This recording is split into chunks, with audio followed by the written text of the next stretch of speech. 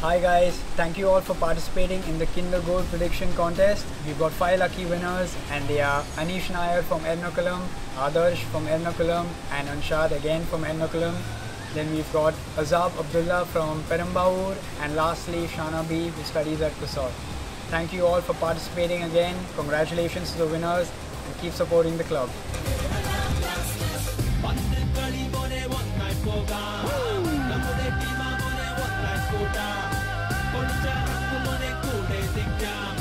nicoli a nicoli tindana nango. Nel mera tarke yusho la sabar